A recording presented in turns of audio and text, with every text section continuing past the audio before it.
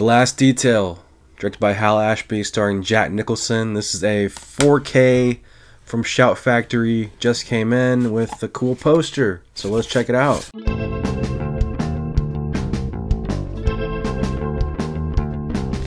There's Jack. There he is. In all his glory. I, I like that Shout Factory does this. They have the posters for a lot of their 4K sets I've noticed lately, and it's kind of a cool thing. Although now I have a lot of poster tubes around here and not enough wall space. I'm a huge Jack Nicholson fan, and The Last Detail has always been one of those movies that has been on the list of one of the ones that, like, the last five that I haven't seen.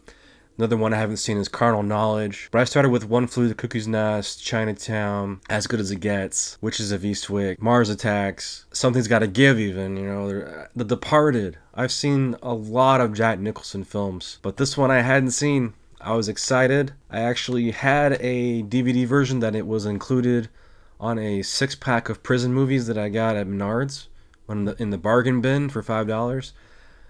And to say the least, I believe I fell asleep attempting to watch it. So I don't count that viewing. But I just got done watching it.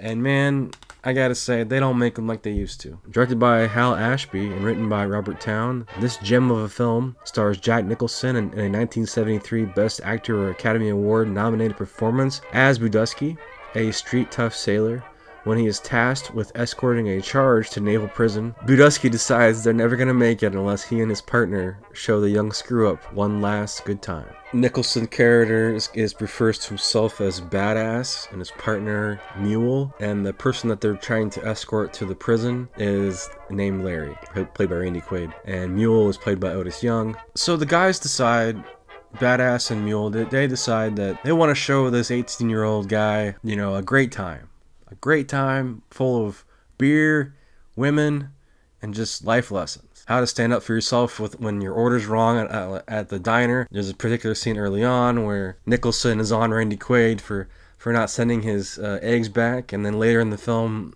Randy Quaid stands up for himself. The last detail is a road trip movie. It's it's a fly on the wall movie where we're following the three guys navigate different cities. And you learn about the characters. You learn that Randy Quaid's character has a lot of issues, a lot of emotional issues, possibly PTSD type things going on, and, and just he has these breakdowns.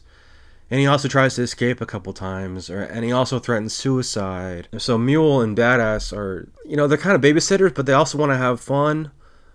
And they uncuff, they uncuff Larry a few times, let him free, and and you know they they do show them a good time. They do come through on their promises. It's just, you know, it's one of those films that is very slow, very slow, very much of its time, very much of the 70s. But I liked it. I, I liked the character study. I liked getting to know these guys a little bit and, and kind of going on that journey as far as the two guys that are, are in charge of taking Larry, you know, Badass Mule, that they they don't really want to go back to the regular services of being in the Navy. They don't want to go back to that. Just the same old, same old. They want to have fun too. Then you have Larry, who is about to serve an eight-year sentence and be, you know, not going to be have much fun for a long time. So he wants to soak it up too, and he doesn't even know. Like he's, you know, he's just 18. He's not able to drink there's a scene where Nicholson puts a gun on the bar and, and demands that the bartender give Larry beer. You know, this performance is, is good. It's not. I don't think it's as good as like Five Easy Pieces or as good as it gets or One Flew Cuckoo's Nest that that Nicholson has won for, but I think it's an effective performance, and you kind of see his growth from Easy Rider to now, and it, you know it's this was an early performance for Nicholson, and he definitely shows why he's he's a legend. Now, as far as special features, this is a uh, 4K restoration from the original camera negative, and it looks great. It looks and sounds great. It's probably the best we're gonna get. It's got a lot of film grain, so if you're not in the film grain, is what it is. It wasn't shot on a digital camera, it was shot on film. And, you know, I, I think the details really shine. And then there's an introduction by filmmaker Alexander Payne about a trip, appreciation by Alexander Payne.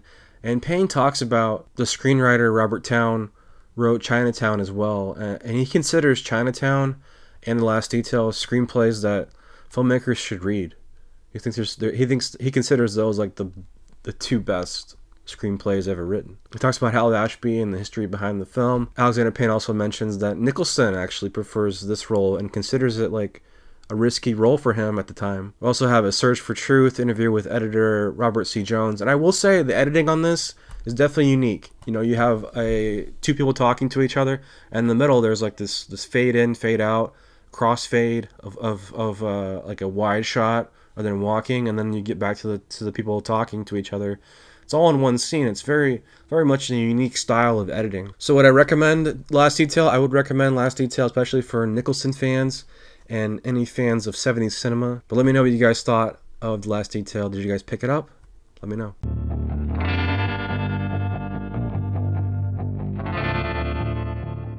Alright, so I went to the store, Target, and got Matchbox Top Gun Maverick. Unfortunately, there's only one plane in here. I have some questions.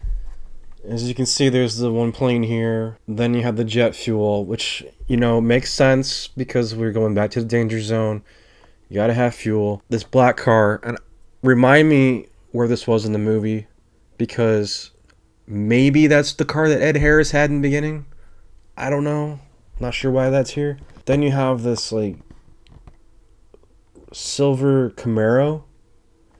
Now, was that the car that Penny was driving at the end? Maybe. That's a, that's a stretch, though. I don't think that was. Then this number three car. This it looks like something James Bond would drive, or maybe like you know Vin Diesel if he time traveled back to the '60s. So, Matchbox.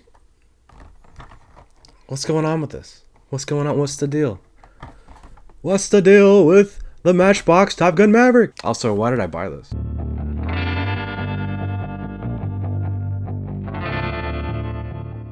Heartbreakers. Is it as advertised? What is this movie? Los Angeles painter Arthur Blue and businessman Eli Kahn are the best of friends, commiserating and competing always, whether on the actual racquetball court or in the singles bar. When Blue's long-term girlfriend Sid leaves him for a more successful artist and Eli's father passes away, they each fall for a beguiling French art gallery manager, and their fragmented bromance enters crisis mode. They call it a bromance, best of friends, Arthur and Eli playing racquetball, and right away you see their competitive nature. Not only have they known each other for a long time they they share financial information they share women they share they have they're just they're totally bros like there's a there's a scene where eli takes a girl home and Arthur's there. Arthur ends up watching them almost have sex, and then the guys, the best friends, end up like ha- having a conversation over the woman. And the woman's like, "Okay, well, what do I do?" You know, kind of deal. So these guys are close, man, and the, and the friendship is very complicated. So Arthur Blue, he's been making art. But it's not like the art that he wants to make or really is into. So to like impress his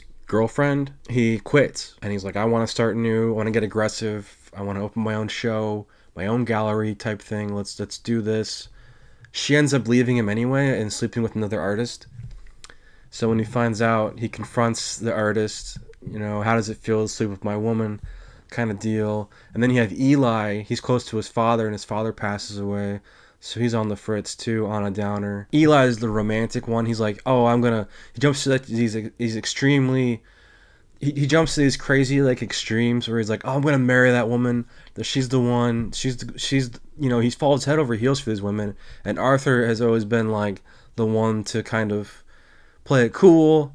And then you know when Eli messes up, he gets the girl kind of thing if he wants her, and that's what they claim that Sid, Arthur's ex, who leaves him for another artist. That's how Eli confronts him, like, "Hey, you, you know, I'm the one that met Sid first. So now he's the one meeting the Actually, Arthur meets the French uh, cur- curator uh, before Eli, but Eli falls hard for her. Ends up going to her, like her yoga class, and they end up having a coffee. And then Eli's got a funny line too, where he has sex with with the French lady, and then Arthur's like, "So you guys didn't make love, you had sex." And he's like, "Well, what's the difference?" You know, he's like, "You tell me. Women are so complicated." So these guys are still trying to figure out women, and and and, and they're always competing. So Candy is Arthur's muse, and, and the, the real art that Arthur wants to make is like this BDSM type paintings, sort of like Bettie Page type thing. So Candy is the model for that. And he does these paintings of her that are going to be in his gallery, his show. And Eli comes over one night and and Candy's there and they and they both want to have sex with Candy, so they have a threesome. That's the kind of relationship these guys have. Very competitive, but very open. Bobby Roth comes up with some great scenarios and unique dialogue. I mean, the whole idea of two really close friends and the fact that they share women and they share they share finances. They, you know, they're practically dating, but it's very heterosexual, very very like competitive testosterone going on here. It's a unique dynamic. You don't see that in films. I don't think I've seen it before, or I haven't seen it since. Here's the cover, and then there's the back of the O-ring. Comes out. I'm assuming this is the original poster, and then there's a booklet. And this was released by Fun City Editions, which is a partner label of Vinegar Syndrome. But there's a whole essay in here about the film and behind the scenes. Uh, very, very cool. Very, very, very well done packaging. This is a new 2K transfer restored from the 35 millimeter interpositive. So the transfer looks really good, really, really solid. Pieces of Me, a newly filmed video interview directed by Bobby Roth. Pieces of My Life, a newly filmed video interview with director Bobby Roth. This is a great interview. They ask him a lot of behind the scenes questions, how he was as a filmmaker at the time, what it was like being an artist in LA, type of thing, who he based the characters off of. It's, it's very informative. Mr. Amor and, and Mr. Outside, a newly filmed video interview with stars Peter and Nick. Great interview as well. Some of them are over Zoom, but it's a fairly new interview, and I, I definitely recommend it. Video introduction by Bobby Roth, an image gallery, an isolated music track. So the music is done by Tangerine Dream. Did the soundtrack for Thief and Sorcerer, among others. Great soundtrack. There's also some really cool 80s songs. Newly recorded audio commentary by filmmaker Chris O'Neill and Bill Ackerman of the Supporting Characters podcast. I'll have to check that out. Movie's 99 minutes from 1984, Heartbreakers. It gives my uh, my highest recommendation. This movie is definitely worth checking out, especially if you're a fan of dramedies, sex comedy, sexual, you know, racy stuff, cool 80s vibes. If you're into that, the Heartbreakers has it all. So definitely Check it out. Let me know if you ordered it.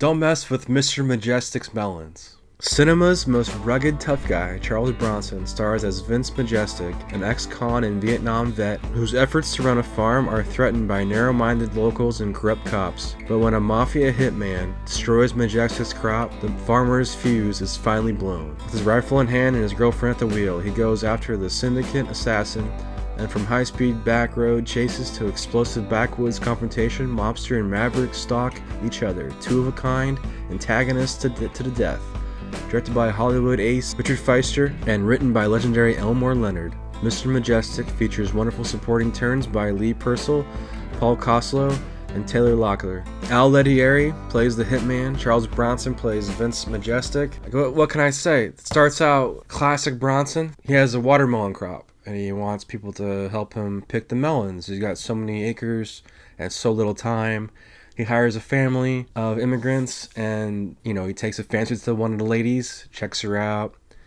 And one of the convenience store workers gives the lady a hard time for wanting to use the bathroom. Bronson steps in like you gonna let her use the bathroom? She's not gonna steal anything. It's all good man. Anyway it escalates. He roughs roughs him up and she uses the bathroom. She becomes his girlfriend. That's how it's done. Charles bronson. They return back to his crop. There's already a family working there are these like hillbilly family that's there and and they're they're already picking the melons and claiming that they get a percentage and all this stuff and so Bronson ends up uh, saying screw that. He ends up going to jail. He ends up going to jail for what he does to these these people to defend his crops.